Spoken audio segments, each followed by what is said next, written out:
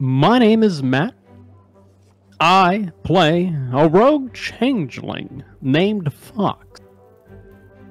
And, uh, you know, I haven't had a long history with doors, but I'm really hoping to change that.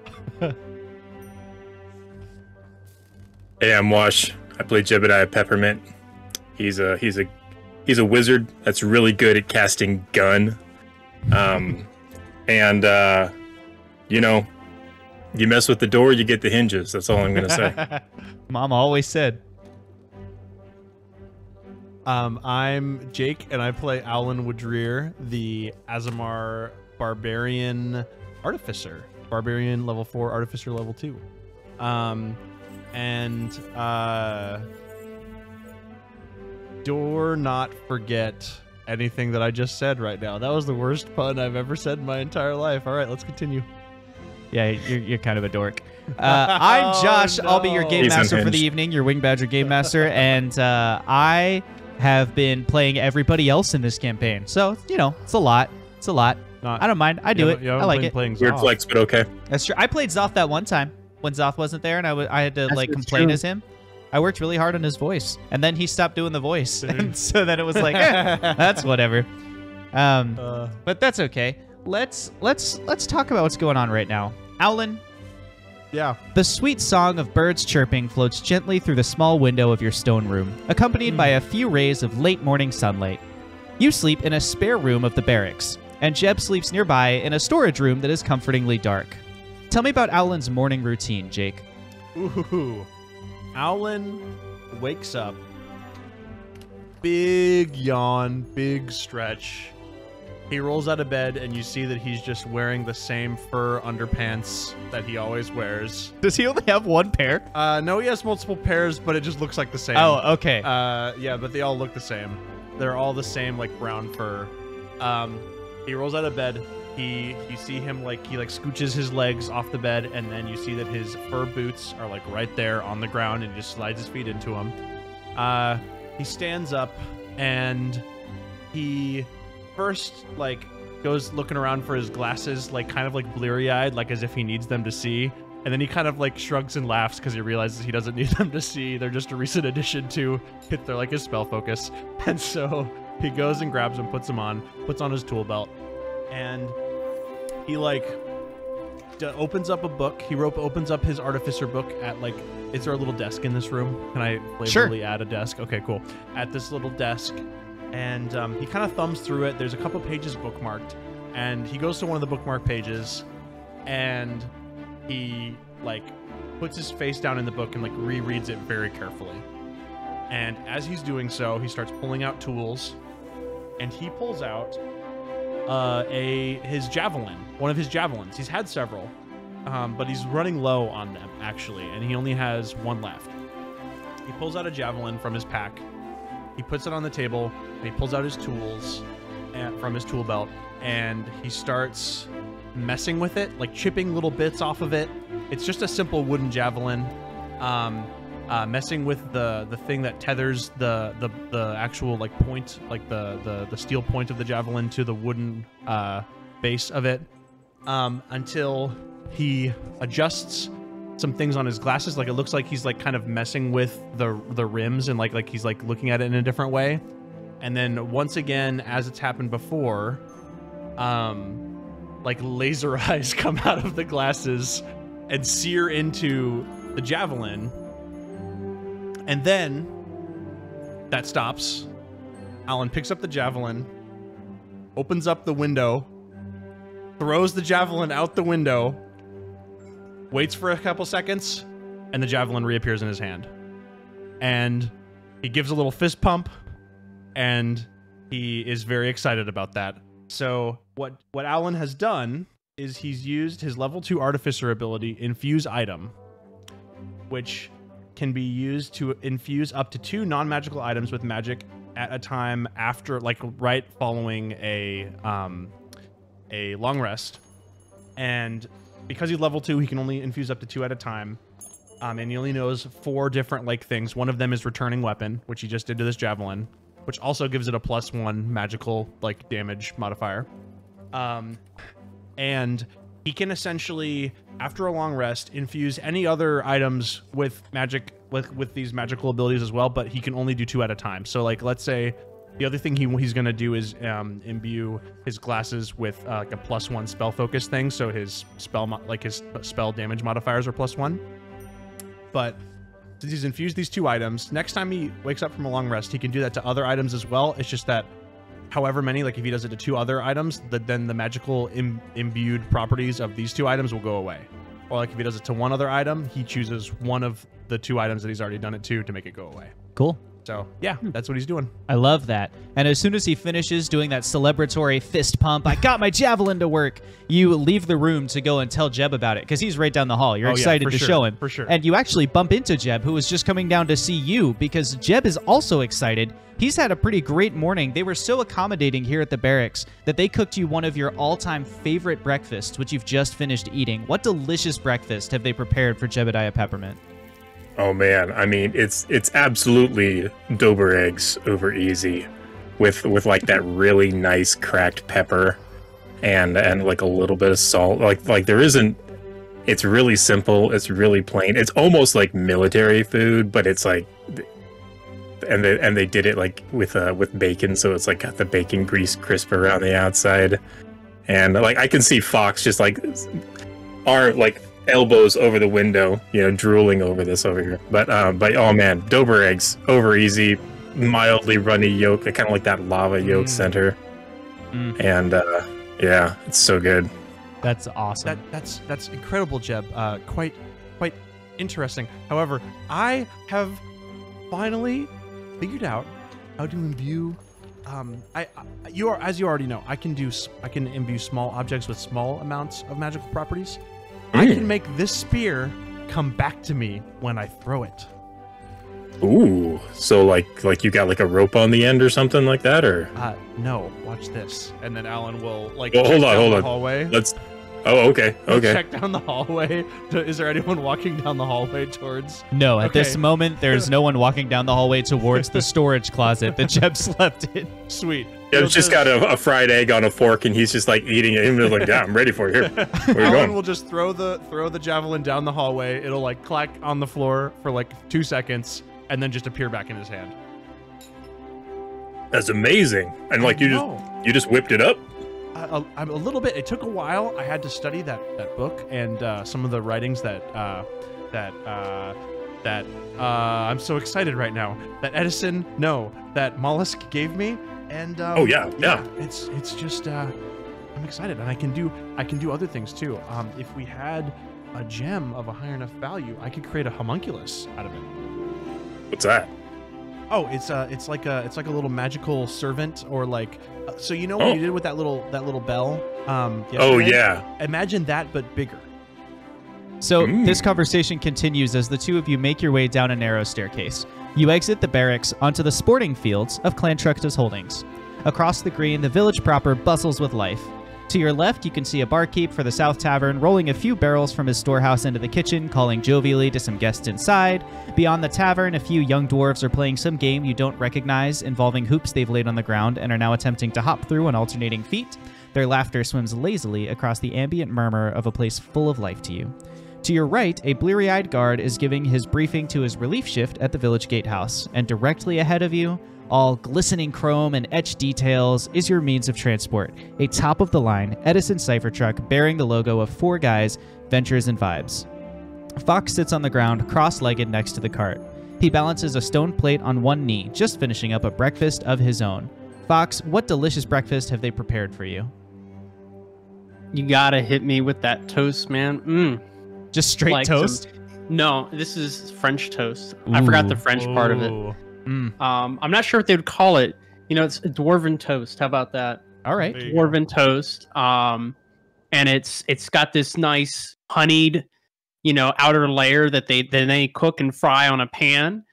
Um, and then they add some egg to it, and so then there's this like egg mixed in with the bread, and and then they just slather that with butter. And and then you just put like a a nice sausage sausage or two with that, and bam, you got yourself a nice, quick, easy breakfast. And you know what? It's low in the calories. It's not gonna overweigh you down, you know, in the mornings. You know, you don't want to be too full because you're about to go exercise. You who- knows what you're about to do? You could be in a fight. You got to be able to exert yourself. So you got to, you know, eat small but good. For sure. Love that for you, Fox. As the two of you get closer to Fox, though, uh, you realize that he he actually looks a little distressed. Fox, what are some of Fox's like nervous twitches, like feet bouncing, thumb twitch? You know what what are what is what's his giveaway? What's his show? Um, well, as I'm uh finishing my uh plate, uh you can see that the plate is bumbling back and forth as I'm just moving my foot back and forth. I'm in a crisscross and as soon as I have a hand free, I uh start pulling out one of my daggers and rolling it between my fingers and reflex you know, reflexively changing it between front grip and back grip. Is that what you call that? Yep, that's fine. Okay. Uh, so it's forehand and backhand would be the way you describe that grip, but it's okay. Um, Fox, you are distressed. Stupid, okay. You are distressed because you went to uh, get Xothkug this morning and he wasn't there. What was the reason that you wanted to talk to Xothkug this morning? You know, were you going to get him for breakfast or, you know, what? how did you discover this? And then go ahead and tell the party your news. Hey guys, um, you you haven't seen uh Xoth around, have you? Uh, n- no, I just woke up and then met Jeb in the hallway. First thing. All right, so um, I, I went to go talk to Xoth. You know, I I kind of felt bad about yesterday. What what, Um, what happened yesterday? Well, you know the whole like dead man thing.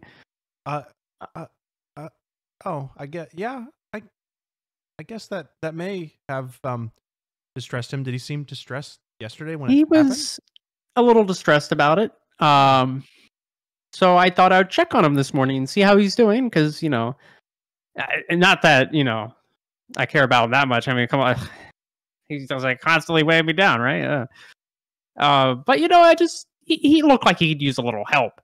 Um, and I can't find him. Oh, So you, you guys, you, you guys didn't run into him, right? uh, no, I I remember he did mention um wanting to check out the markets uh last night. Um, do you think that maybe he went there first thing? You know what? Yeah, you're probably right. We should probably just. He's probably in the markets. Yeah, you know, he's, I- probably he's probably you know you know filling up on Yeah, supplies. You know what? I'm I'm done breakfast. Uh, y- I'm, I'm just gonna. I I mean, I don't know what you guys are doing, but I might be. I might just go check on the markets. You know, um, you know, just for my own shopping, and maybe I'll find out there. You know. sure. Alan, um, you were able to to track that one guy down yesterday. Would you maybe be able to see if there's any trace of Xoth's uh, footprints around? Oh yeah, that's a that's a great idea. Yeah, yeah. I- uh, I mean, if you if you can do that, Alan, that'd be pretty cool. That that sure. Um, that may save us some time if he's not at the market site. Um, yeah. So Alan will will uh did, did he just sleep in the cart? Where did he where did he sleep? Yes, he would have slept in the cart. Okay. Um, Alan will go down to like around the cart and like start uh looking for any tracks. Uh, he would roll. You're cutting in and out, bud. Sorry. Um, I was looking at my character sheet. Um, he would roll. What would he roll? Uh, he would roll survival to track Survival, somebody. Okay.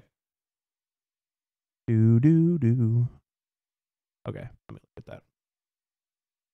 By the way, I want to say, um, I love how when you look down, wash, like you're looking at your notes and stuff. It's just your entire hat It's takes up the the whole screen.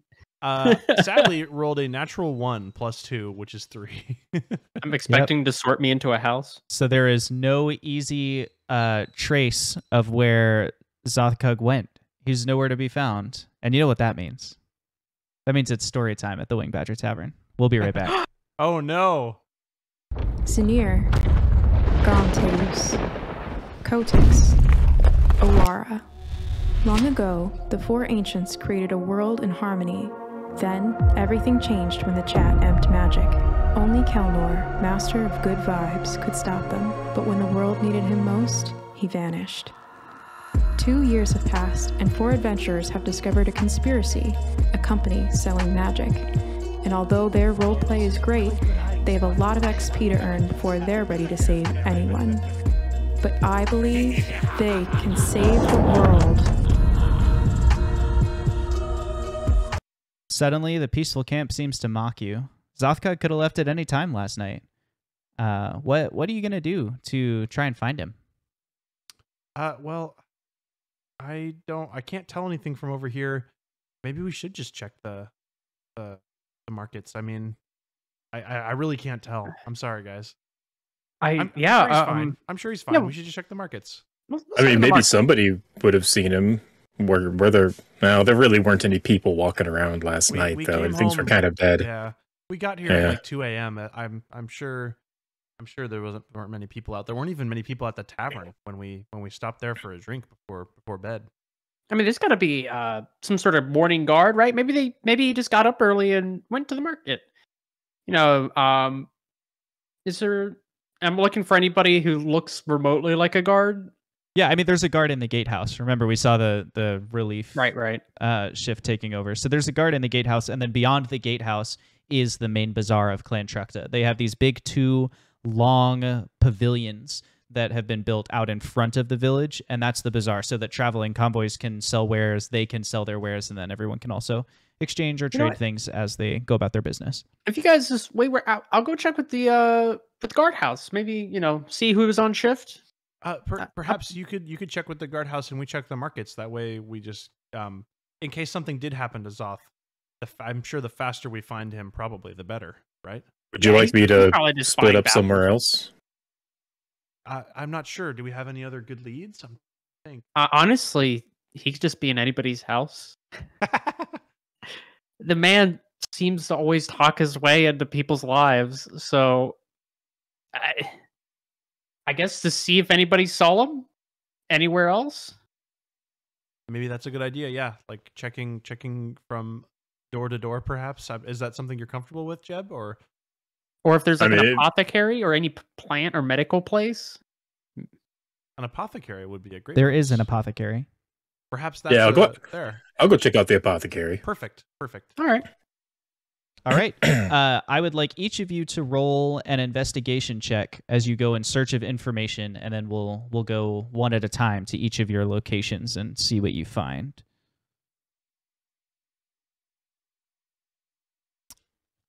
And let's start with Owlin, who's going out to the bazaar. I got a nine total. Sadly. All right. Owlin, you head out to the bazaar and it is a an absolute feast for your eyes. Mm. There are all kinds of interesting trinkets and knickknacks and things being sold here. There are intricate pieces of jewelry and stonework. There are even some functioning pocket watches, like gears and, and mechanisms, whatever that you wind up. Ooh. Um, there are some cool like abacuses and things. But as you're looking around that, you kind of get distracted from your search. so you find one person who just as they're also shopping, they're like, um, yeah, well, I, I saw a big guy wandering around last night. I mean, he'd, he'd probably been scary if he didn't look so darn sad, but I didn't see where he went. and that's like all that. Um, that's the only one that you that you you were able to find while you're out there. Can I can I check up on that person? Can I? I mean, can I mean, you to them? can, but they're like they're busy shopping and stuff. Like they're not. They they they don't seem to want to give you the time of day. Uh, uh, excuse me. Um, that that uh, who did you mention? You mentioned seeing someone last night in around here. Yeah, the, you said you're looking for a big guy. I saw a big guy wandering around last night, but I don't know where he went. He was in the you know in the village. He just was wandering. You don't you, you didn't see which direction he may have gone. no, I, no, I didn't. I and I'm trying to do my shopping here. I'm I'm sorry. Sir, are you going to guy. buy this? Um, uh, uh, I'm I'm sorry, sir. Uh, have a good have a good day. Yeah, I I'm trying. Um, okay, uh, Jebediah Peppermint, you headed to the apothecary. Uh, what did you roll on your investigation check? So I rolled it with advantage because I rolled pretty low, and I want to use my first, att- like the the first of uh, my uses of the rod that gives me advantage on intelligence based checks. Um. So however you want to interpret that, but I got an 18 plus six for a 24. Cool. I think of that as like you went to the apothecary, had your conversation, and like you realize you like said something wrong or offended the guy, and so you like reverse time and go back, but don't say that thing. That's my favorite That's version of how this goes. You're Is that like, how that works? Yeah, that didn't work. Uh, it is now for this moment. Um, Okay. It's it's like a PlayStation game where like you hit X to say the one thing or circle to say the other thing, and you have to pick the right dialogue line. Um, so you shouldn't have doubted. yeah, you're talking to the what do you call them? Apo- apothecist? The Apoth- um I believe alchemist. they're an apothecary. no they uh I don't know. You're talking to the the the steward of this Proprietor. apothecary. The proprietor, indeed. So you're So, talking yeah, to the, the, propri- apothecary is the name of the person as well as the place. Cool. So you're talking to the proprietor of this apothecary, and uh, they're busy, like you know, they're kind of mixing things on their shelves and whatever. But they say, uh, "Well, I, I haven't seen him, but you know, there's, there's probably written. I mean, they keep written records at the at the gatehouse. You know, of everyone who comes in and out. I'm sure they would have a record of where he went." Um, Yeah. So you should you should probably head over there and ask them. They if he's left the village, they'll know, and that way you can at least narrow it down to whether he's in town or out of town. Okay. And I will, since the other guys are kind of like checking much bigger places, like the entire market and stuff like that, Mhm. I'll I'll kind of buzz over there real quick before checking in with the guys. Sounds good. Fox, you go up to the first guard you see, who is at the front gate, um, and the he's the one who you know we saw him kind of taking over for the night shift, and he's just he's just chilling up there doing his thing. Um, you check in with him, and he says to you, "Well, I I mean I I didn't see anything, but you know there there might be records of it. I don't know. The night shift, you know, they sometimes they keep these records, sometimes they don't, whatever. But there's there's probably paperwork in the barracks. You know, if you if you just head up there, that they should have a log. You know, if they did their job right. Oh, thanks, man. Thanks for being chill about it. Yeah. Hey Fox. Hey Fox. Uh, yeah. Hey, I'm just like, "Uh, uh, uh." if you ask one of the guards, I, I think that they might have like a record of if someone came in and out. Uh, somebody just told me that, so I'm here to like, Jeb, you know, Yeah. you saved me a lot of time. I, oh, if I didn't know that, you know, I, I would have been wandering around endlessly. these these little bones, man. I was pushing as hard as I could to get here and just save you as much time as, Oh, it I, as I could. Just in time. I was just about to go waste my time. Um, but now that you've said that, I'm sure the first place that would be is the barracks. Oh, that makes sense. yeah, let's go. Uh, okay, and the two of you head back to the barracks. Um, sure enough, on the first floor of the barracks, there's a sort of secretarial desk and you know a bunch of different logbooks and paperwork and stuff. Um, someone looks at you and goes, "Can I help you find anything?" Uh, yeah. Um, I'm hoping. I'm, I'm not sure if it's public information, but we're looking for um our companion, our our compatriot. Um, and Very big, very uh, gray. yeah, he might have left sometime early morning last night, and we're hoping to see if maybe he's in the logbook. Ah, let, let me have a look through. it. You know what? Let me let me let me just call the night shift. He just came in. He probably hasn't gone to sleep yet. I'll be right back. And he, you know, slides out from behind his desk and hurries up the stairs. He comes back I down this, with a Jeb. tired-looking human who is just like, "Ah, "All right, what's this about a, a missing guy? Who who are you looking for?" Uh, yeah, he's really hard to miss. Uh, tall, gray orc. Mopey guy? Yeah, Yeah, Can be. I remember him. Yeah, he left. Uh, he left. Gosh, super early morning, probably one or two. Um, one or two. Yeah, he seemed downright sad. Refused protection too. I mean, he, you know, we normally offer to send an archer out with people. There's some nasty stuff out in the Hmm. woods if you wander too far. But uh, and as he recounts, the vision becomes a little clearer. Hey, where are you going? I'm going for a walk. You all right, man? You don't you don't look so good. Yeah, man, I'm just going through some stuff. I just need to, to be in nature, go for a walk, process it all. All right, big guy. You uh, you want Archer to watch over you? I'm not sure how long or how far I'll go. Uh, it's not necessary, but I appreciate the sentiment. It's it's nice to see kindness in this world. Uh, may I may I go through? Yeah, I guess so. I hope you find what you're looking for, stranger. Me too, man. Me too.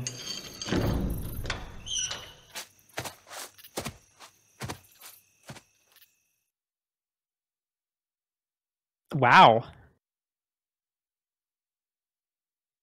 So what do you do with your information? Um, which uh, which way did he go? Like, which gate did he leave? Oh, we just left the front gate here, just the main one. We don't keep the other ones open at night. Okay. And DM, does that front gate head back towards the fort that we were at, or which way does that I it could. lead? it basically leads out so um clan trukta is at the bait like the divot in one of the hills. It leads up the hill and then over to the other side where there's some more woods and things. So he could have gone south and followed the misty run river which is the river you were camped at before or he could have gone to the west, which would take him back towards the keep. Could be either of those two directions. But you can probably like once you get outside of town where all the footsteps are, there's a good chance you can pick up his trail if you you know if you search hard enough. Hey, uh, Jeb, let's let's go tag up with Alan since he seems to be really good with tracking. Yeah, I tell you what, I'll uh, I'll go get Timmy and Tommy and hook up the cart and like like get the cipher the cipher truck ready, and I'll meet you there. All right, I'll be at the front gate when, uh, with Alan then. Yeah. Timmy and Tommy are dressed up in their shiny new um, Four Guys Adventures and Vibes armbands. They've got on their best banditry clothes. It's like, you know, they've done their best to like iron it. The shirts are tucked in, even though they're still kind of worn and tattered. Um, and as you walk up, they're like, "All right, we're ready for duty. Uh, what what can I do for for my job? I'm this is my this is a job, right? I, what what do I do? It's day one. Yeah, I mean, so first off, a plus effort on on getting yourselves cleaned up.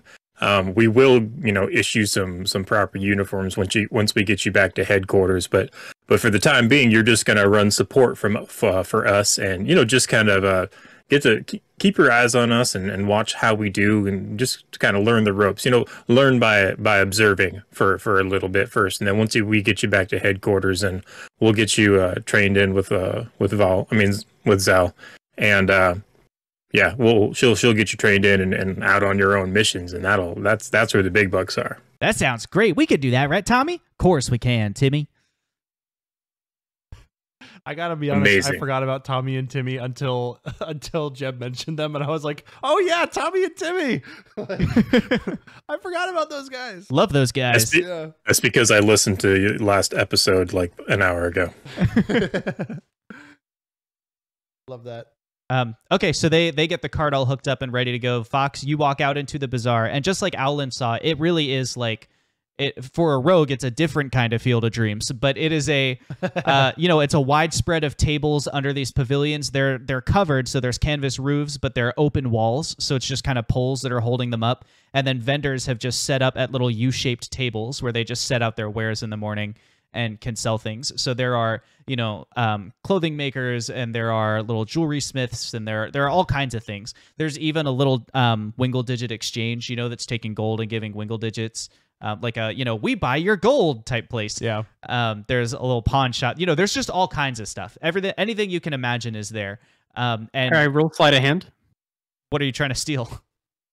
Um, a ring. A Rings ring? look cool. Okay, Yeah. roll sleight of hand. I will roll and I will, I will roll a something. So, admittedly, Perception. Perception. That's hit what my- it's called. Yeah. It hit my nail file, but my nail file blessed me with a nat twenty. Yo. a nail 20 okay uh, you are able You to nailed it. successfully swipe a ring wash i would like you to tell me the details of the ring he swipes Oh. Okay. Let me roll two dice. All right, all right. So the uh, the ring is actually made of copper. the The metal is not very ornate. It's not like platinum or anything like that. It's a it's a simple copper ring, but it is decorated incredibly well. Um, it has carvings of of two dragons that are like swallowing each other's tails, and there are, are two emeralds set into the eyes of each Mm. dragon, and they are opposite of each other. Very cool. Wow. I got a cool ring. that is cool put- dude I'm putting that on immediately. yeah i love that Oh wait, does it have like a an inscription on the inside? Wash. No, but um, but it is a little tarnished on the inside. It's got like that green oxidization from the copper. okay. Like it like it had been worn a lot by some individual. Like it's not a new ring. Hmm. Cool. Okay. Did I did I just take a ring from a pawn shop? okay. Um, I'll find. I'll go find Owlin. Do I need to Nice. roll investigation? uh, no you don't need to roll investigation because you know owlin well enough that you just kind of follow the trinkets so you're like you know where where would i find some interesting or delicate trinkets where would i find some unique construction and sure enough when you get there there is owlin awaiting you Owlin is looking at the smallest pocket watch he's ever seen, and he's marveling at how small and tiny the gears must be inside of it. Can't- That's it's wow. Um, hey, quite Alan, interesting. Uh, I'm gonna, yes, like tug on his shirt. Uh, I guess you have nothing to tug on. Tug on your arm. Um, Uh, did, uh, did you find him? yeah. Um, we we didn't, but we could use your expertise. Um, Uh, okay. If uh, you said you were good at tracking, even though you didn't find anything right away this I- morning. I, I will say I don't know if I've ever claimed to be good at tracking. I think that Jeb assumes I'm good at tracking because of my demeanor. Um, I've always assumed you're good at tracking I am decent at tracking. because of your Um, demeanor. I appreciate that. Um, I am overall mostly simply decent at tracking. I would be more than willing to hand over the tracking reins, uh, if you if like if that makes sense. Anyway, let's go over and get you tracking. okay. uh, what, what was the lead? Did you find any leads? Uh, yeah, yeah, no. Um, as we're walking over, uh, we talked to one of the guards. Um, and lu- luckily we were able to catch the night guard before he fell asleep, Mm, and good. he had actually talked to him. Oh, great. Where where did he go? We have no idea. He just left through the front gate at like 2 a.m. Oh, by himself that's without like- escort. That's right after we went to bed. Like right. he Yep, Just left. That's he's that's got troubling. quite a few hours ahead of us. Yeah. Do we do we know what he's set out for? Like what is he trying to find something? I mean, keep up, Alan. We're, we're I'm, I'm picking up the sorry. pace I'm, here. I'm sorry. I, I, it's hard for me to, to think and walk at the same time. I'll, I'll, I'll do the walking now and the thinking in a bit. Uh, okay, Hey. roll a survival for your tracking check. Oh, okay. Ooh, 21 this time. I rolled well. You Your are demeanor is showing. you are absolutely able to pick up Xothkug's tracks. Uh, for one, he's an orc, so like he's he's he's a you know fairly big dude. He's gonna leave some some trail, um, but also you know Xoth pretty well, and so you're able to look at the terrain and be like, based on his gait and the way he walks and trout, you know where would he likely pick his path, just because you know the guy. And so it's not long before you uh, pick up the trail, and you Um, notice that his footprints seem pretty close together. Like I- he's yeah. I, I will say, um, if we're setting out from the city walls, Alan will probably notify um his friend before they leave. Like, hey, we're gonna we're gonna head out. Like our Xothkug left. Basically, we're trying to we're trying to find him. Alan, we don't have time for that. Al- long. A- A- I- Alan, we just leave a note with the guard, man. We gotta. Uh, okay, He's he's hours ahead of us, man. We gotta go. that's I mean, I, I know we're not any rush, but you know this is Xoth we're talking about. It's like 10:30 or 11 a.m. now. So based on him leaving at two, it has been like eight nine hours. Okay. Um, I'll, I'll if it's all right with you guys, I'll, I'll I'll leave a note with the with the with the watchman. So Alan, I'll Alan basically left a note saying our friend left in the middle of the night. We need to go find him. Hopefully, we'll be back. There's not a guarantee that we we will be back, but we, I would love to try to be back. And if we're not able to be back, like it was amazing catching up with you. You seem to be doing great work here, and I still would love to learn more about your research because Alan is so nerdy about that stuff. You know, So, it's it's yeah. not you, it's me. Yeah. So so you pick up the trail, like I said, and his footprints seem close together. Like he's walking at a lazy pace, or like meander. Like he doesn't really know where he's going. He's just kind of Mm. meandering around. Um, and at one point, you can um you can see that he he did go over the hill and has entered the woods. Um, to and grandmother's house he goes. yeah, exactly. Okay. Um, as he enters the woods, you pick up another set of tracks that kind of comes out of the woods and then turns and follows his his footprints. Do I know what those are? I'm about to tell you. Okay. Um, you see four sets of tracks in total. Three of them are big clawed feet, and one of them is a set of round feet. Um, and you can use investigation or nature or you know you could justify a check to me to try and learn more about them but that's what you're able to find just from tracking. Um, Alan will will look at those and uh, just kind of and kind of beckon both Jeb and uh, Fox over and be like, "God, do you- I, I I know Jeb, you're you're more of an expert on below ground animals, so I'm not sure if you'd be able to identify these, but uh, This Fox- is this is not my forte, unfortunately. Uh, I I've made traps a couple of times in my life to hunt some animal, but I've I've never tracked whatever this is. Yeah, unfortunately, Xoth's our nature guy. Uh, this this is this is true. Um, hmm. Maybe let me see if I can't remember anything Xoth talked to me about. Um, what would you say I should roll to remember a conversation with Xoth?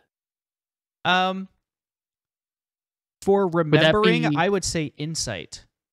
Insight? Okay. I'm going to see if Xoth ever talked about anything that sounds like it would even be this big. And I kid you not, Mhm. um, I'm going to have terrible rolls after this because I just rolled my second nat 20. Dang. You could remember Xothkug telling you about one of the coolest creatures to roam the woods. Uh, and of course, you were like, but it's giant and could kill me. And he was like, but it's cool, man. Like, what if you could tame one of them? It's called an owl bear. Mm. and they're they're pretty large, but they have the you know the three toed clawed feet like you're seeing in the ground here. Um, but they're they have the heads of an owl and kind of the talons of an owl, but the body of a bear. So they're they're large creatures, and they generally like they kind of live in very small family units, but not in like packs. So it might be like a mom and two cubs or something, you know, because you're seeing three sets of prints. So it could be like a mom and two cubs. They're probably not all adults because they're very territorial. So um, that that's what you think those those uh, three identical sets of prints are. You know- you are not sure about the the set of big round footsteps. At least for the claws, it sounds a lot like this one time. What was it? Xothkug was talking about these like bears that are like owls.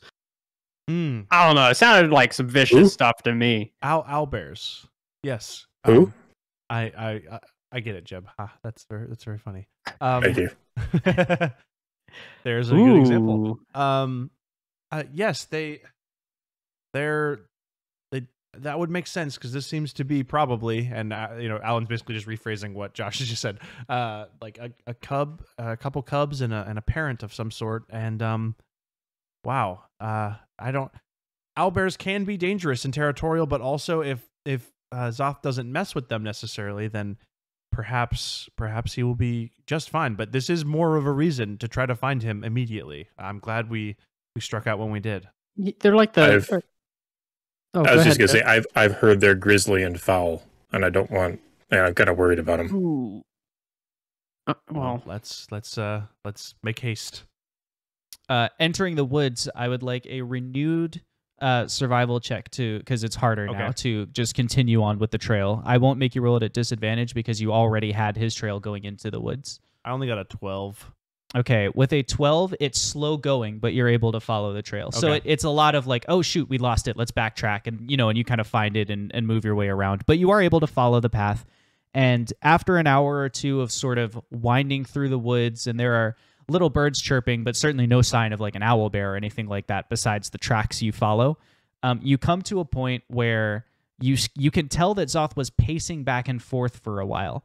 Um, he was standing still, um, and then he would walk back and forth. But like the the feet, the depressions of his footprints are just you know he was wandering for a while here, and you can see the wilted remains of two of his magic leaves on the ground, indicating that he used some kind of spell or something. And as you're sitting there trying to you know put the pieces together, you start to kind of reconstruct what might have happened to Xoth in this forest in your mind. Hey, it's Xoth. We only have 25 words. I now understand how you must have felt when I hurt plants and trees. What has happened? Is everyone all right? Through actions we took, uh, someone was killed unjustly and unnecessarily. H- how do you get over or cope with others when others do this to your kind? Before meeting you all, I did not know others did this to my kind. I have still not found my peace. I am searching. as you begin to kind of put together his conversation with Yeah, you also are able to see that all five sets of tracks, Xoth and the four things following him, um, wander out of the the woods, and they're kind of going up and over the next hill. Dang. Uh, yeah, let's follow that. yeah, guys, I I think we should probably pick up the pace a bit. I, know I, I, agree. I'm, but we'll, we'll go as fast as we can. Um, as you kind of speed up and make haste over Are the we- hill, Are we on the? Uh, I assume we're not on the um the cyber truck, the cipher truck, right? I assume you wouldn't have taken We- it into the woods. Yeah, we probably left it outside of the woods with our two two boys. yeah. Cool. All right. um, as you uh, kind of increase your pace and head up to the top of the hill, you hear a large shriek from the woods to the side of you. Not a not a creature like not Xothkug shriek, but like a, a wild beast kind of shrieking um, near you in the woods, and it sounds like a cross between like the whoo of an owl and like the growl of a tiger or another large cat. Um, and you hear some stomping footsteps in the woods. They still haven't come like you don't see anything, but you do start to hear some evidence that maybe these owl bears are nearby. Um, on the other side of the hill, the woods begin again as it kind of goes down and into back into like another forested area. Um, I would like one more survival check to see if you can continue to follow the tracks or at the pace at which you follow them. Ten. 10. Okay. Um, with a 10, you're still following the tracks, but you're certainly not doing a good job of masking your own passage. And before long, sure enough, a couple of stomps are the only warning you get before uh, an owl bear comes stomping out of the woods um, and stops before you, basically right at the edge of the forested clearing. And behind this mother owl bear are two cubs. And the owl bear looks at you and gives that same weird shriek again, but it doesn't approach and it doesn't seem like it's going to start a fight with you. It seems more like it's trying to ward you away from a territory. Is it uh, in the way of us getting to the path? Yeah, it is on the path. Oh. Like it has stepped out basically from the trees onto your path to, Okay. to block you. Whoa, whoa, whoa. Okay. Alan's first reaction will also be to like put hands up and like not try to encroach on it. Yeah, don't bite. As you lift your hands up, it slowly stands onto its rear legs as well and like holds its hands up like maybe it thinks you're like, you know, trying to make yourself more imposing or whatever. Alan puts his hands down. it stays there on its hind legs, but kind of drops them into like lazy bear pose, you know, where it's like sniffing the air, looking towards you. All right. Let's, uh, Owlin, Oh. uh, Jeb, sh- Do- should walk around. Do you, do you understand us? The owl bear sniffs What? a couple times. I, I, I, I don't think the owl bear understands us, Jeb. Okay, okay. I mean, I get that words are coming out of your face, but think for a second. This is a magical creature. This is not a natural thing. You know, there are owls and there are bears. So let's let's not just jump to conclusions yet. I will say, uh, logically speaking, uh, neither owls nor bears understand humans. I'm not sure why a combination of both would. Wait, I, got, Um, I got it. DM, Yep. um, I have a permanent comprehend language cast upon myself when I hold this rod, and I can understand any creature that speaks any sort of language.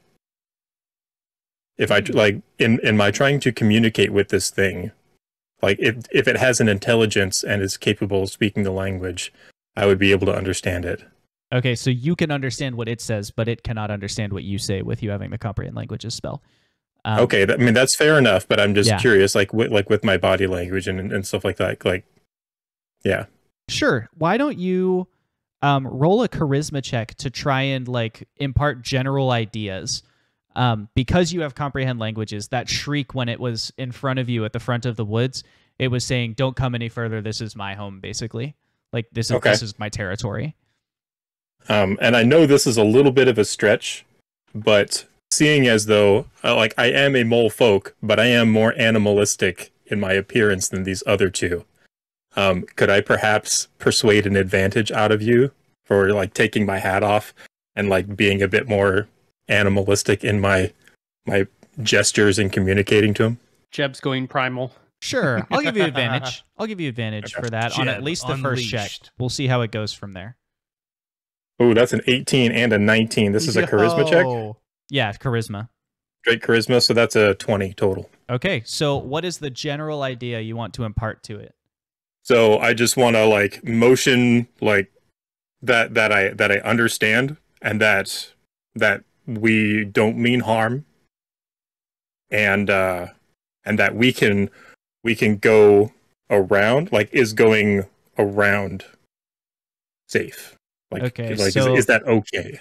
Um, for that first check, we'll say, uh, how about you? You're able to convey deference, and it so it comes from standing up, it comes back down onto its, you know, its front front legs. Like, okay, I, I understand that I am respected as the leader here.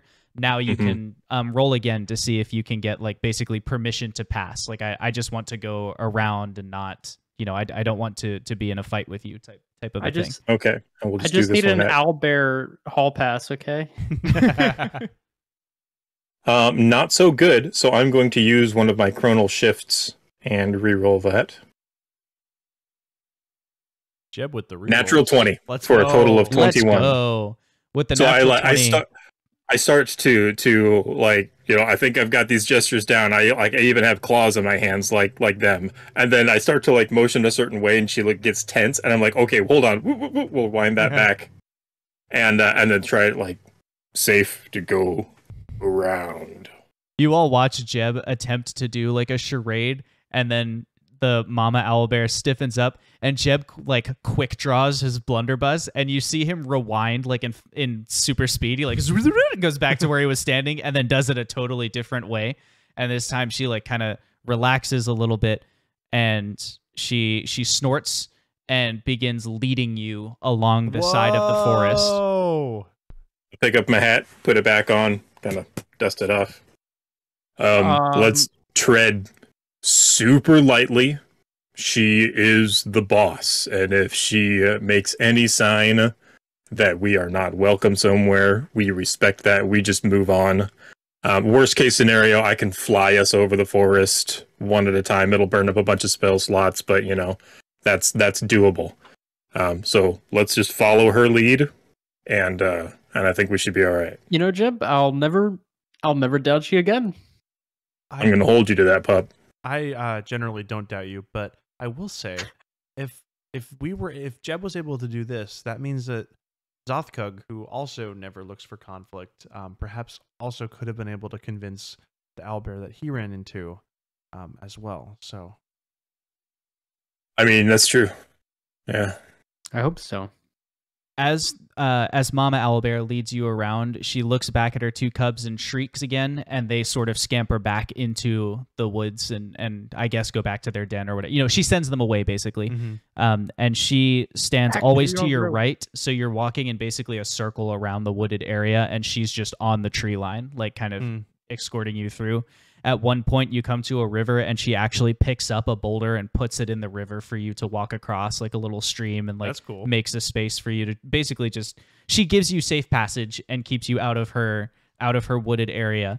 And when you get to the end of her area, which is bordered by this brook, so it kind of goes alongside and then eventually cuts into the woods, and she again gets you away to across the other side, and then she stays on her side, and she just kind of dips her head a little bit at you, Jeb, and then turns around and walks away into the woods. And you hear, Yeah. you know, some some heavy footfalls as she moves into the distance, and then eventually um, they fade away, and she is gone.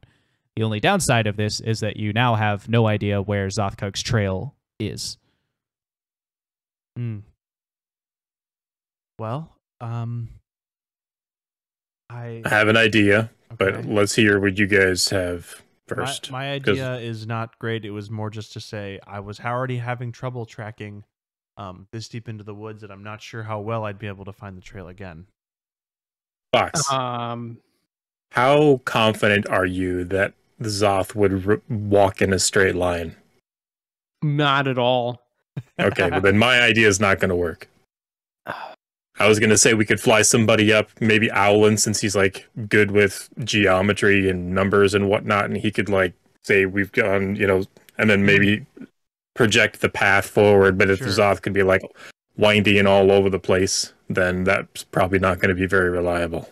We might be able to still work out like a cone uh, that would overlap with the edge of the territory that we just were told is not ours, evidently. Is in fact the owlbears. It's worth a shot. Uh, yeah, I could I could uh, look up above, try to see where you know I could spot the cyber truck, the cipher truck, um, and see you know where we are now. Wait, and Wait a minute. What? we left the cipher truck with Tim. Timmy and Tommy, yeah. Yeah, Timmy and Tommy. Um, the two criminals. They don't have a just- fob. I've got the fob in my pocket. They're discarding it. Okay, Yeah, that that I you know when you think about it that way, it does uh, is it unlocked? change how you think about that. Yeah, but they can't start it up. But what about the stuff inside? I mean, eh, hey, if they want to slap, you know, four adventuring packs, one on the front, one on the back, and bust their knees running away, I mean, more power to them. I mean, that's just industrious.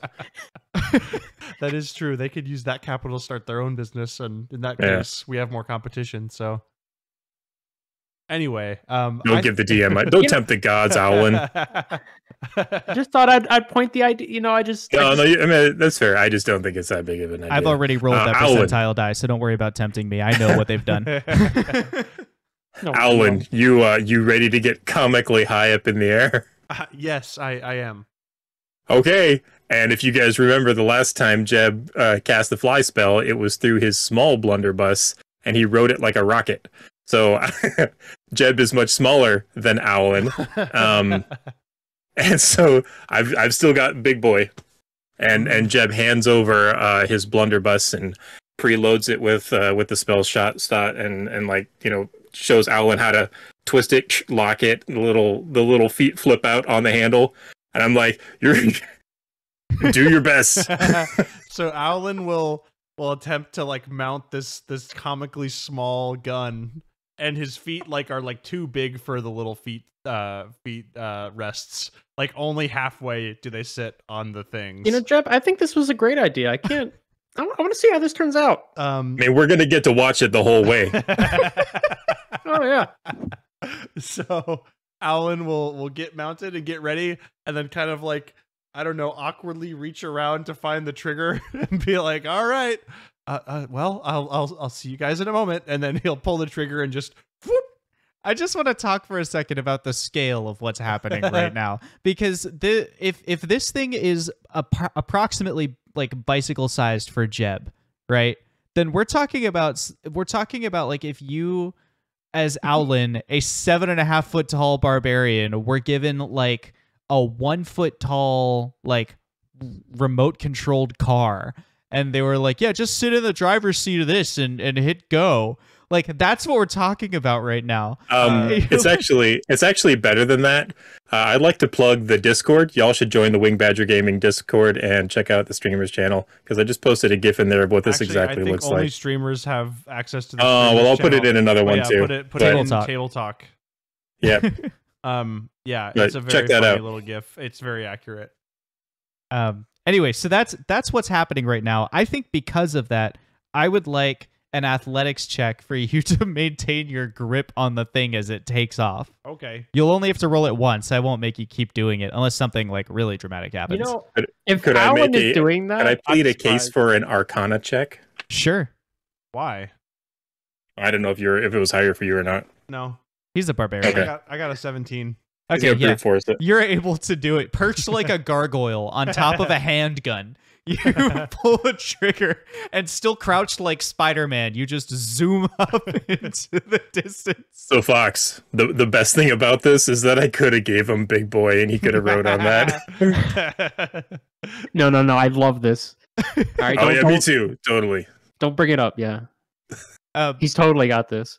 Alan, you are, I, I guess, however high up you go, it's 60 feet per per round, right? That you can fly. Is that right, however, Wash? however high Alan can get to see the cipher truck in the distance and essentially like try to do the mental like geography of like seeing a s- like a straight line from like try to identify where like that clearing right. was before and draw a line from that from the cipher truck to that and then mentally draw another line like you know continuously forward from that through the bear like the the bear's territory that they just circumnavigated and like try to okay that's so that's essentially where we need to go to try to pick up the trail again and we are here and Um, so we need to move from here to here if that Can I makes interrupt real quick?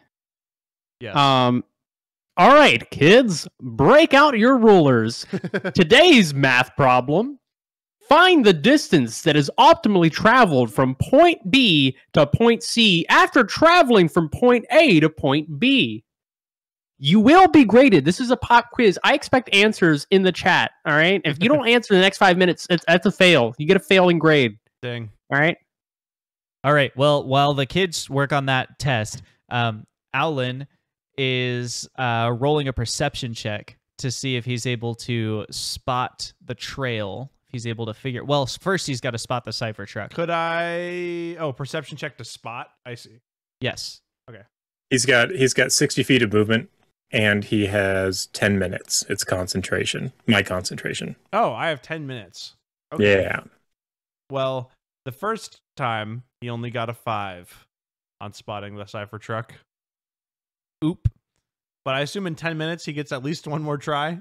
yeah. Well, with 10 minutes, uh, don't bother rolling the perception check because this isn't like a. I was thinking of it like a mortar shot where he, like, at the peak, he has to, like, calculate everything. But Oh, if he's got time up there, then yeah, you just, you know, take however long it takes to find the thing. So you find the cipher truck, you still know where your party is, and then you kind of calculate, you know, where the direction would be from there. Um, I'm gonna let you make the next survival check with advantage when you get back down to the ground to pick up the trail because you know kind of where you're going. So you're Cool. able to calculate all those things. You do notice one other thing while you're up there. okay. You notice that in the next stretch of woods, not exactly where you think Xothkug would be, but near there, um, there there is a a swath cut through the trees. Like something has walked through the forest that was big enough to like Oh. push trees a little bit to the side and leave a little channel. And the it starts like at the it's at the edge of the forest, and then at some point the forest becomes bigger than the swath, and so it kind of covers up that trail. Gotcha. Yep. Okay. Um, Alan will make note of all those things, and then when he's when he come, he'll he'll maybe try to signal to Jeb from up above that he's ready to come down. Um, and Oh, you're in complete control of yourself. Oh, okay. Well then, I'm just maintaining the spell. Okay. Well then he'll he'll uh, start to come down, and on his way down, he'll like kind of maybe even realize that he's able to to, to like control it himself, and he'll try to do a little flip, Uh, like a little a little barrel roll, Sure, you do your barrel roll. Uh, and uh, roll roll an athletics check to decide how cool it is. You don't fall off, but this is just like is it like a, you know, oh, I kind of flopped around training wheels type barrel roll or is this like a perfectly executed barrel roll? let's see. This is a 14 of a barrel roll. That's a pretty good barrel roll. That's significantly above the average. Also, do you need dice? No, I'm rolling them digitally. Yeah, but you're in my house, dude. Do you want some Okay. dice? I mean, I have got can. the real ones. Uh, the, no, actually, the table's too far. Like, I have to lean away from the microphone to do it on the table. So I don't. I mean, you oh. can roll them in a dice bag. Okay. You don't have to. I just like, you know, I got dice here. sure, sure. I'll take some dice. I'm just trying to What's- make my man's life a little better here, What's chat. what's what's Jeb got on his uh paper? It's too overexposed. I can't see. It's two over, so he's, he's holding up a 10. Oh, cool. Good job Thank on you. the flip. I appreciate it. Love that for you. But yeah, he'll he'll come down. It'll be great. Here's an assortment of dice with at least one of every die. Thank you. Yep. Jake is here, by the way, chat. He's visiting. That's Um, why I look so cool. Yeah, chat says real dice are No. better, and chat's right. He just passed him uh, through the telephone line a bunch of dice. Yeah, he It's uh, actually, sent me, he sent me uh, uh, an auto ferret. I just fling them at my uh, camera, and then they appear flying out of Jake's camera. Yeah, that's true. That's the way that it. Oh, works. yeah. I love crazy. how I love how Matt works in IT and thinks that Discord audio goes over a telephone line. It's my favorite. Zoom yeah, you, you don't can. use you don't use uh DSL like You can dial, you can dial up Zoom over the phone. I know that you can do that, but This is all really good. Zoom Zoom on on $400. Uh, sorry. Um, anyway, Yeah, anyway, so you come back down, you do a fairly decent barrel roll, and then because you're still crouched on it like a little gargoyle, you sort of do a superhero landing at the end as it comes down. Um, and now you are back on the ground, still precariously balanced on this small gun. Alan will dismount gracefully and uh, give the small gun back to Jeb and uh, Nice. explain to them. Uh, so uh, I believe I have I can, I've picked up a general area where we need to be checking next. However, um, in the proximity of where Xothkug may have gone, um, there seems to be a, uh, some some parts of the forest that have been cleared away as if by a giant creature that simply by wading through the forest um, is just knocking over trees. That suddenly went into Jake's voice. I'm sorry. Is uh, has been uh, yeah clearing away the forest. Um, not not exactly good. It's very messy. Seems somewhat dangerous. I did not seem to spot the creature though. I'm Stop. I'm not excited about any creature that can quote wade through trees. Like that's terrifying to me. I, I also am not um, excited by that, and hopefully Xoth's uh, path does not cross with with that area. But we do Just not tell know. me where it is because I get I know Xoth. He got involved somehow. I I you know wh- I, That's a you- good you are point. probably correct. Um, We all know him well enough. I'll- You know. Gosh darn it. I'll try to I'll try to pick up his trail from where I observe just to double check.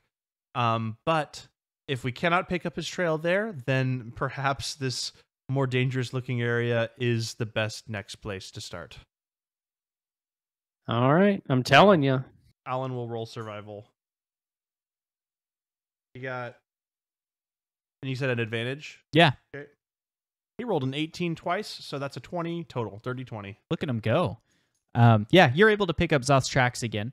Sweet. Um, he okay, so he wandered into this woods and he's kind of moving along and he comes he came to this clearing and you now have come to this clearing. It's a shrine actually. Um, in a small circular clearing of trees where stones form a perfect circle around a small pool that sits smooth as glass, sunlight glinting sharply off its surface. Xoth's tracks lead right up to it, and a depression in the grass indicates that he slept here for a bit. Hmm. Um, and then you then discern that he was startled awake by something. Oh no. Uh, does it uh does it seem to be an owlbear that startled him awake?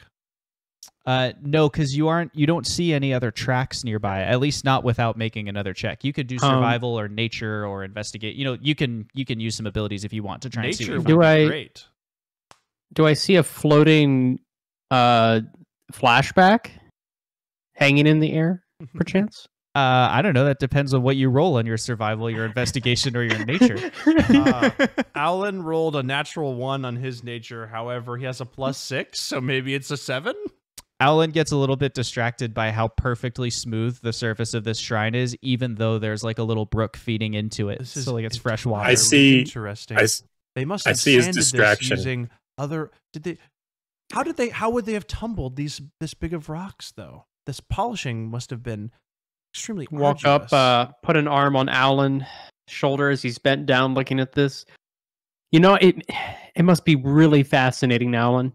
It it truly is. It's And it's. y- you know what else is so fascinating? time. how this relates to where Xoth is. I'm really waiting for the connection.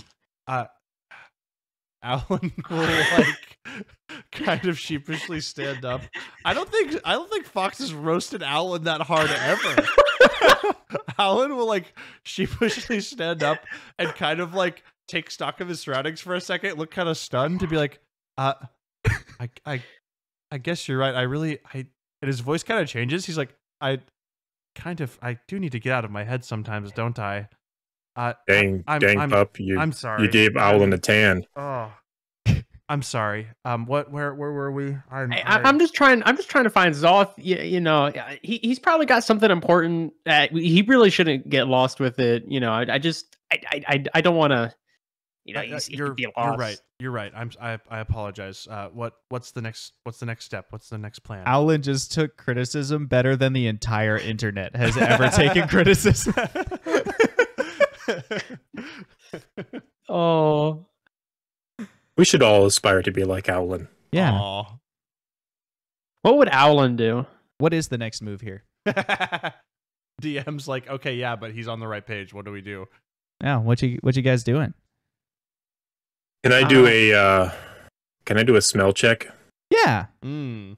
See if it, I haven't done a smell check in a while. And and at like to that point also my sunlight sensitivity, Jeb probably doesn't see really well right now. Like it's probably better when we're in the woods and and Yeah. there's some trees blocking the direct sunlight. But he's just kind of like I'm trying to sniff for any um any obvious animal musk. Yeah. Like, you know. Oh, not good. Not good. Um, that's going to be a five. Did you roll it with advantage? Didn't we say you have advantage on smell checks? Yeah, I did. I rolled a Oh, four and no. a five. Oh no. Ah, no. Damn. Yeah. All right. Well, you're sniffing oof. around, but you're like the sunlight is so harsh that it's like hard to even you like you, you're squinting too It's hard. distracting, It's like yeah. oh man. Um, and it, it comes down to Fox. All right, guys. I know how to find Xoth. Um, I'm gonna roll for a vibe check. All right, roll it with advantage because that's a great idea. Checking for vibes. Uh, what would be the modifier? Charisma for vibes. Come on, you dear sir. That'd be a 21 then. dang. Um, yeah, you you pick up the vibes. So you're looking at the depression in the grass where he slept, and then right Depression in the next to grass for a depressed Yeah. orc. Sorry, go ahead. So you you find next to it like ah, and here's the spot where he would have set down the his potted plant, and then next to that you kind of see like oh, and here he sat cross-legged. He was probably meditating in this spot, and you sit where he sat like for his meditation, trying to see what he would be looking at, and you notice across the uh across the small pond on the other side there are two ferns that are bent in such a way as almost to make a seat for a small creature. And um you you kind of realize like maybe he maybe he actually had a conversation with someone here and the pieces start to come together for you. See, Fox using uh,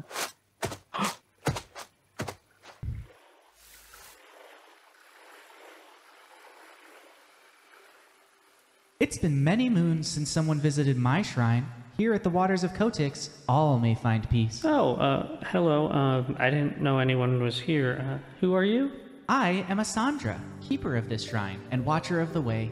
Along with the rest of my order, we vigilantly watch for events prophesied in the Book of Diverging Paths and do our best to steward the natural course towards the path of prosperity. Who are you? I, I'm Xothkug. Uh, my party and I have actually been tasked by Kelnor to uh, save the avatars. She tilts her head, and small, semi translucent wings flutter gently behind her, ruffling her robe gently. That's what Kelnor wants of you. What do you want? I want to enjoy joy life with my friends. I want magic to be restored. I want to feel connected to my god again, Kelnor. And yet, here you are, in pursuit of those things. And you seem upset. Indeed, I am. Um, I I really tried my best to live live a happy life to bring happiness to others. Yet we often find ourselves in in grave peril, and we do things that I don't agree with, and don't agree with the things that I believe. But it's usually for the greater good. Recently, um, someone was was murdered um, while he was incapacitated, knocked out. He was defenseless. Um, while he was a thief and he did steal, and that was wrong. I know. I, I don't believe death was the right punishment. We all must die to complete our link in the chain of being. She sits up, brightening with an idea. Tell me, this thief who died, had he lived, his path and yours would have gone a different way. What might the result of that have been?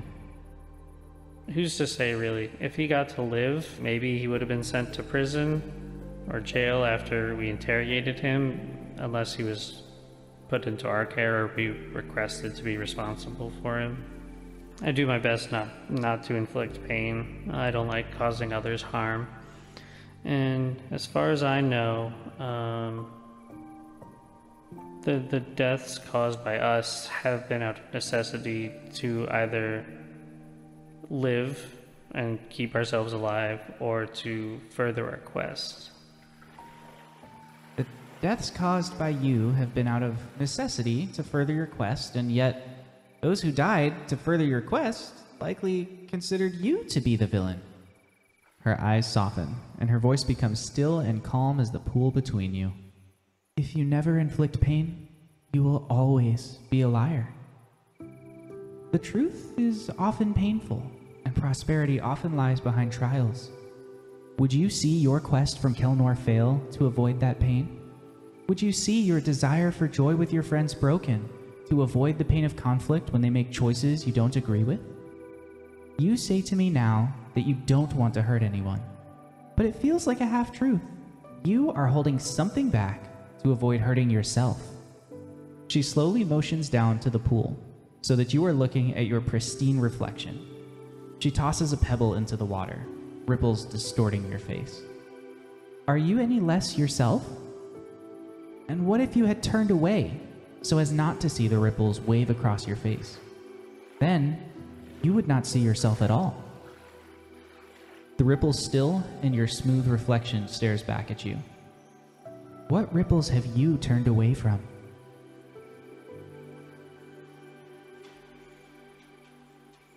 Those other people probably did think us the villain. So much more complex than simply good and bad. Everyone has their own quests, their own goals, their own perspective of any given situation. I certainly will do everything in my power to ensure the safety of my friends and the uh, completion of Kelnor's quest. I've, I've definitely turned away from, from all of her misdeeds. I've glanced over the pain that I've had a part in inflicting, even if I wasn't the one doing the inflicting myself. Those are things you have turned away from because your way has diverged. But what fork in your road put you on such a path to begin with? Xoth will look down at the water, swirl his hand in the pool, causing the ripples, and then he stares up until it's until it settles and sighs. He sits down onto the grass. I wasn't welcomed by my people. I was smaller, I wasn't as athletic, I couldn't keep up with all the other kids, I'd be teased. My parents would hear comments from all the other parents about how scrawny, weak I was, and how silly I looked. I didn't have a place at my home. Kelnor helped me find purpose and something I could do magic. When it went away, I lost the connection I had with him, my place in the world. So I set out to figure out what happened and bring it back. Asandra leans back on a small fern that she's been using as a recliner. Now that is a path with purpose. Kelnor gave you a place in the world when he gave you that magic. He polished your link in the great chain of being. Her eyes sparkle mischievously. But he wouldn't have known about the darkening at that time. So I wonder why. No, no, no, don't ask me. I am merely a watcher of the way. You are the one who must walk it. Farewell. Wait, wait, wait, wait. Uh, before we part, could you tell me what those those runes mean? At the bottom of the pond? Yes. She pokes her head back between two ferns, large eyes twinkling in reflected sunlight. They say, in nature, nothing is perfect and everything is perfect. Something new for you to meditate on, my mellow friend. Thank you for your guidance. I hope you are successful in guiding more people on their paths. Uh, Xoth will now uh, sit down, contemplate everything that has been said, and meditate as he has done with Ye in the past. With a little shiver of moving fronds and grasses, the wheatling disappears.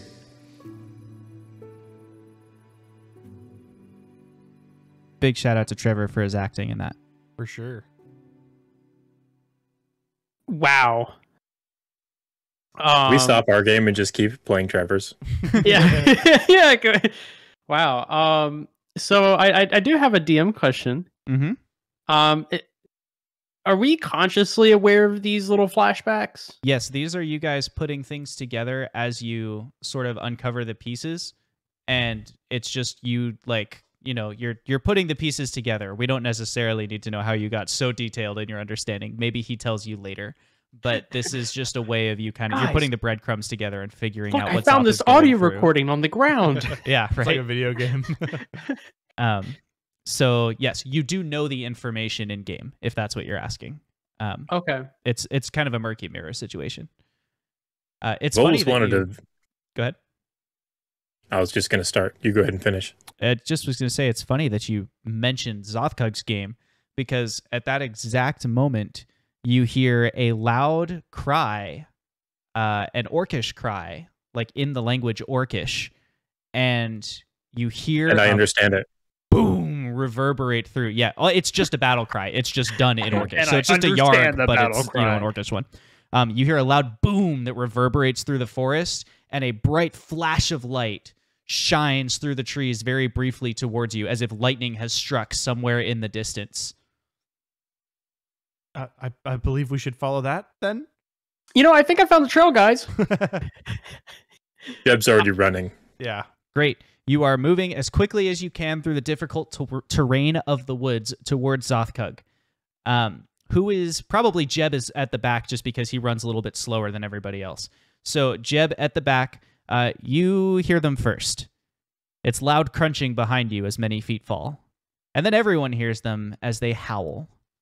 A pack of wolves is tearing after you in the woods, probably drawn by the noise of your rushed passage. How many of them is impossible to make out in the blur of trees and undergrowth. But then suddenly, out of nowhere, the first wolf suddenly appears and snaps at your heels. He's going to get a single round attack, and then we're going to enter pursuit. He misses you with a three. Jeb is able to like jump to the side at the last moment. This wolf snaps right where you were. Um, we are now going to enter some pursuit, and you're going to have a chance to evade these wolves Pursue it. but they are right on top of you. So, as a reminder for everybody, the way that Pursuit works, this is uh, not quite a homebrew mechanic um, in that like other podcasts have used it, but it is new to here.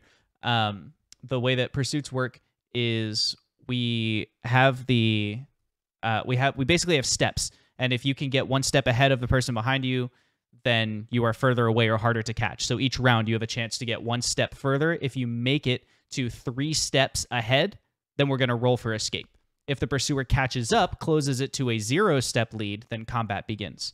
So to start things off, let's make sure we have your pins on the board here. For those of you listening at home, if you join us live on Mondays, we have a lot of visuals to go with this stuff. And we'll start with you guys. What will you do to get an edge on the wolves that are following you? Is this considered a one step lead where we're at right now? Yes, this is a one step lead. Okay, cool. Also, I think our cameras. I know. Okay, cool. Um, uh, gosh, what will uh, what shall we do? What shall we? do? I'm I'm running. Yeah, but how are you going to run in a way that gets you an edge on these wolves? Right Uh, now, I'm everyone is just cast running. spell. Okay, what you doing, Jeb? Ooh. Um, so with a, for a little bit of cinematic flair, when that wolf nipped at my heels and I jumped, could I have jumped onto like Owlin's back, like grabbed onto it? yeah, his pack? absolutely. Like Yoda.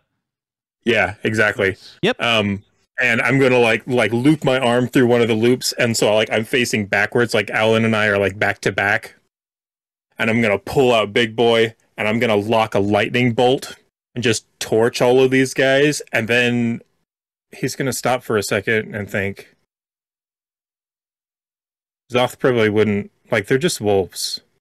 Xoth probably wouldn't want us to just kill them. And he's going to shoulder it and pull out his blunderbuss and cast fog cloud and just just disperse this big cloud of fog. And he's going to do it like ahead of us so that we like run through it and it gives us a little bit more extra time. Love that. Um, okay, so is there do they have a save or anything, or is Fog Cloud it just creates basically obscurement for you? Um, give me uh, half a second. I think it just gives uh, complete cover. Uh, 20 foot radius sphere. Da da da da da. It's a sphere. It spreads around everything, so it shouldn't have any problems with like the foliage and all of that. It's Awesome. all of the area is heavily obscured, and it lasts. It's going to last for an hour, but we're you know they'll be able Yeah. to get through it, and we'll be able to get through it fast enough. As you Um, heavily obscure the area, I've just rolled a perception check for them, and they rolled low enough that you definitely get a little bit of a lead here as they're trying to pick up the sound of you. You're still making noise, and they'll eventually find you, but you now have a two-step lead on the wolves who are chasing you. Okay, Owlin would like to. uh, If Jeb is Jeb, are you done with what you were? yeah, that's do? my thing. Cool. Yeah. Owlin would like to take a turn to pull a wingle out of his pocket and um, attempt to run and use his um, artisan tools to tinker with the wingle and he basically with his magical tinkering he can make the wingle eh, he can make a non-magical object which i assume if the wingle hasn't been activated is it considered a non-magical object? Sure. okay. He can make it emit a non-verbal sound that can be heard in a 10 foot radius around it um and he wants to make it like a dog whistle sound that's really annoying to like a like wolf ears but not human ears and he needs to spend an entire turn doing it but on the next turn he can like toss it back and hopefully it can like distract the wolves enough that's his idea that We're going to use do. a constitution check to try and maintain concentration as you're like running and balancing Jeb and using your tools. Okay Uh, you're going to roll it at disadvantage, but the DC is only 10. This is a fairly simple spell. It's just that your environment is making it difficult to do. it is and I, I don't know if this changes anything it is not technically a spell it's a class ability just so you know. Well, yeah, I meant what you're making the the thing do. Like it's simple magic that you're imbuing. I, you said disadvantage yes, please. i've already failed i got a seven Ah, man. So you're trying. I would like to use my chronal shift, my Oh. last one of the day, to have him re-roll that. so i roll disadvantage again Yes. okay 14 Excellent. So you are able to create it, and next round you'll be able to throw that back. sweet The wolves are going to attempt to coordinate by howling for friends. So they're going to roll a charisma check. They rolled too low. So they do not gain a, a step on you. They Sweet. kind of like some of them slowed down to howl loud, hoping that some others of their pack would cut you off, but it wasn't audible to Thank them. you, Jeb, for the chronal shift. By the way, I didn't say that right away. Brings us back to you guys. Either of you who want, any of you who Um, want to do something can. quick, quick, rub this, rub this on yourself. And I, I just pull out a, a raw ration meat and just start rubbing it all over my clothes Why? to get like That's my the scent. opposite. I want to get my scent of onto the meat. Okay. I'm like, just get get your scent on the meat any way you can. Just put something into it, and I, and I toss it back Spit behind on me. it. Okay. Um, I'm going to give them. uh, let's do an, a wisdom check for them to discern between whether it's you or not. They rolled a 19. They know. Um, they ignore the meat and continue tearing after it. When you. Alan sees that they ignore the meat, he's going to toss the wingle that ha- that is now emitting the dog whistle sound. Great. I'm going to roll for them. Okay. Two of them tear off after it, but one of them continues following you. Ah, so there's so there's only one them, wolf in pursuit now. Um, The Mm. others have gone off after the whistle because they're all distracted by it. Um, but the one wolf, now that it's like just one, Jeb, you're able to get a glimpse of it through the trees, and it is easily as tall as Owlin's shoulders. This is Oh, a no. dire wolf that is chasing you. Um, and it because there's still the one after you, you did not gain a step lead on it. It is going to try and knock down a tree that is already like hit by lightning, and it rolled poorly on its strength check, so it does not. We are still at a two-step lead here. You guys have another chance now to try and get yourselves a little bit further ahead of this wolf. Wow. Does, Um, does Alan see that it's a dire wolf as well? Jeb can tell him, sure. Murky Okay. mirror. Holy moly, guys! no, that's not a wo- that. No, no. I think Xoth would be okay with killing this one. When Alan hears that, he's going to throw his returning javelin at the dire wolf behind him. Roll to It's hit. so big, you can't miss. Oh no! Okay. Uh, I'm just gonna keep running. I ain't looking back. natural 20. Going to roll to confirm. Did not confirm. Like- Okay, so we're gonna say that you hit it and slowed it enough to get your third step of lead when you turn around to continue running. Like it, it basically kind of shuddered and and stepped back a he little did bit. six points of damage if that matters. Awesome. So you can now you can roll stealth to hide from the wolf. You can roll athletics to outrun the wolf's pursuit, which it will con- it's going to contest any of these to see if it can continue pursuing. Um, or you can come up with another idea and just pitch it to me as what what you'd be doing. But those are the two that I know work. Do we uh, all have to roll it, or does one per? Do we elect One person will roll for the party. Okay. Um. What do we think is going to be the best Guys. option? Um, do, there's a lot of these trees burnt, right? Um, do you think, do you think, Alan, you could push one of these down, or Jeb, maybe use your magic to push it over? If if we can just create a barrier, we can just outrun it. Um, I I, I could try to do that. Um, it might be a little crude. I just don't want to be Chow. Okay, I, I, Okay, all right. whatever and. I'm going man. to I'm going to pull out big boy and lock and load a shell and uh, and cast canned of uh, sorry, not canned. I'm not. I'm gonna cast canned food at him. No, um, we already we already tried the rations. Why am I thinking of that? That's stupid. Um, I'm going to cast a hand of coal, and I wanted to just grab like a, a tree trunk that's already downed and just baseball bat. And we're gonna try and uh, Moons of this guy. Endor.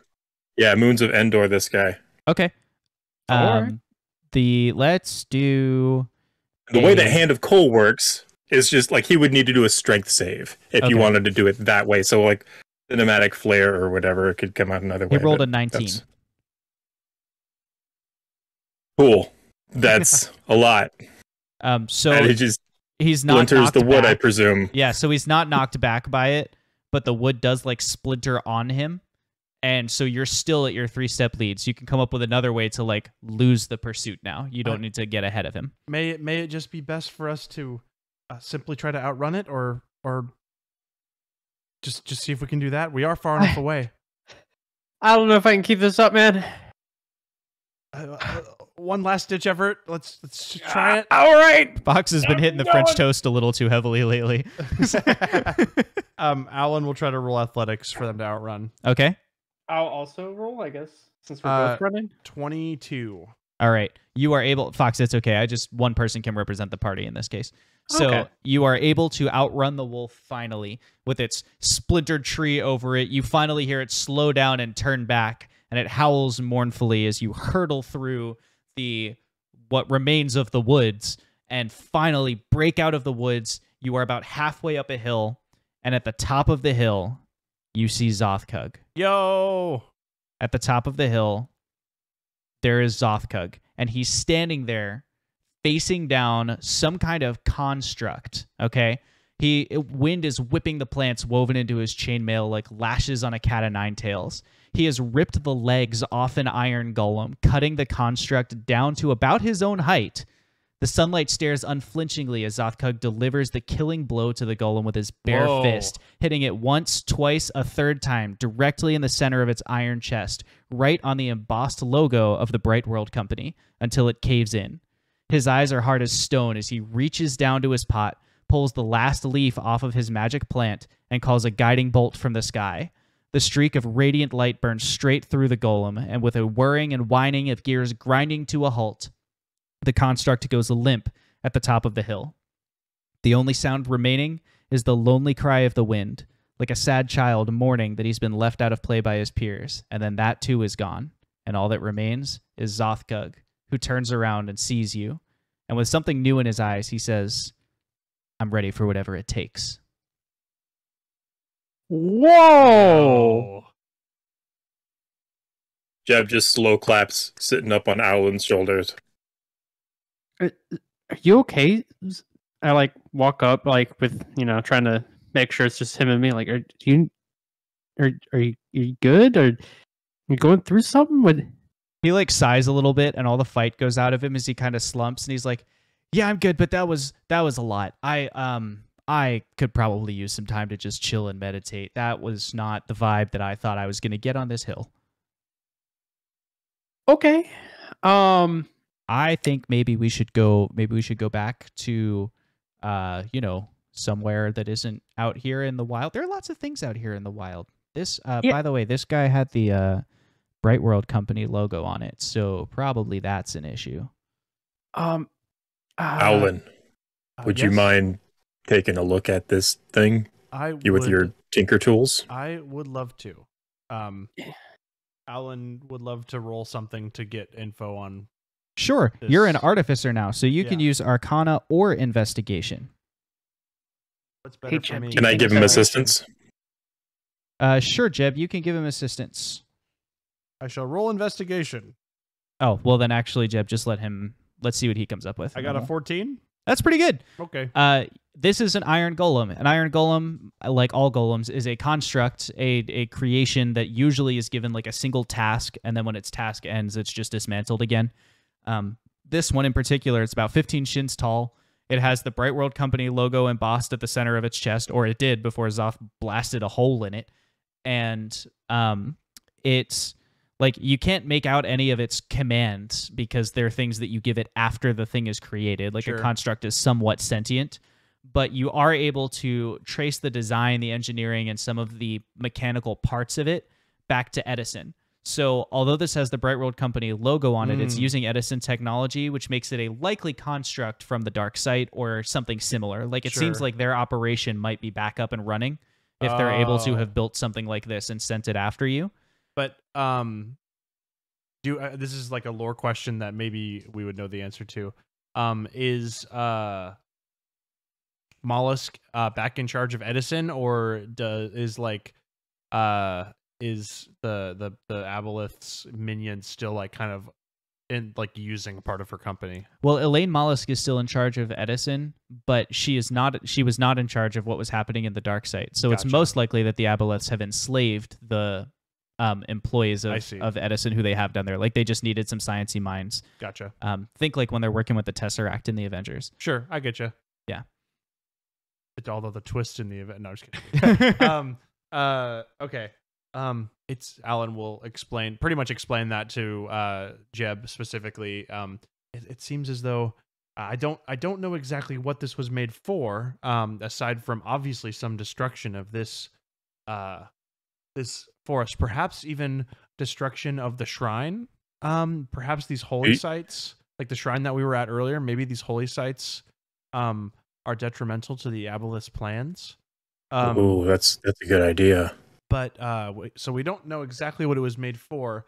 However, it seems as though it's quite possible that the dark site is operational once again. As uh, the uh, Why do you say that? uh, Alan will point at specific parts on it. Be like, uh, "Do you recognize this?" And like point at like because like they were both in the you know in the factory. Yeah. They would probably be able to recognize Oh. parts that they saw. Whoa, whoa, whoa, guys! Uh, this is. I mean, I'm sure you two've got this. Uh, but are you meaning to tell me that this boils down to the Aboleth is is just trying to destroy the? Is this is this like the children's story Fern Folly about about the big bad people destroying the environment? Is is this what this has turned into? Is is the Aboleth trying to destroy the environment? Is that what you're trying to tell I me? I believe that perhaps if a certain god gains power from the environment, you know, such as this forest being a holy site for um, Kotix, as we saw that that shrine earlier, um, perhaps yes, perhaps in some cases it is uh, beneficial for the Aboleths to destroy places like this. Also, Alan, in your experience as a military man, most golems that are made of iron are meant to go and fight things. They're not meant to go and find or do things. Like there are cheaper ways to make a golem if it's Okay. not supposed to be in combat. And and this this golem was designed for combat, or if not combat, you know, destruction. So um, that's that seems to be like if if they wanted to just search something out here and not go scorched earth on it, um, they would have found a much subtler way to do so. I, I mean, can we find out where it came from? Uh, Uh, Xoth, was it just sitting on this hill? Well, no, it actually it it kind of ran up to me while I was meditating. I found this really cool shrine, you guys. It was like this small pond, and there was this this really small creature who was sitting on this this twig, and we had this conversation. And man, it like it really changed the way that I see the world, man. Like there's this whole new vibe that I just am, you know, that I think about now. Uh, but anyway, while I was there, we had this conversation, and then a little while after she left, you know, I was meditating and just chilling and doing my thing, and then out of the woods came this loud stomping, and I turned around, and this huge thing was chasing me, and I didn't want, you know, I didn't want anything to happen to the shrine, man. So I I ran away from the shrine for a little while, um, but I was thinking about what this wheeling said, and I was like, you know, she was totally right, man. Like like I, I don't need to be like held back by like all the baggage and stuff man. And so then i was like let me just see and you know and i and i i, I got in a fight with it and i i kind of went a little overboard if i'm honest with you guys. I feel like i maybe took it a little too far but i you know i i'm just trying i'm trying it out man. Maybe alan maybe you can teach me a little bit or Uh, something? yes. Uh, uh, first of all, I will say uh, I believe you did an incredible job, and there's no need to feel um, remorse for what you did, as this is simply a construct. It is not. It has never Mm. been a sentient, intelligent being um, with with a life force. So you, have, it's essentially a machine. So there's no reason to uh, feel remorse about about vanquishing it. Xoth, did you um, Did you find plants at that shrine? Uh, Uh, no, dude, I'm I'm trying not to do that anymore. You know, because of the the whole thing with yeah. It- so you're 100%. Oh, okay. I did not expect. Oh, okay. Um, uh, Jeb, do, do you think your fob? Do you think the cart can get here? I'm not sure. I don't. I don't think the the fob like calls the cart. Like that was the other one.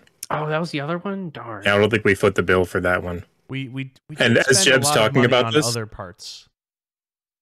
As Jeb's talking about this, he's like climbing up into the hole that's blasted through the chest of uh of this iron golem, and he's like poking his head out. He's like, "Yeah, I I don't, I don't."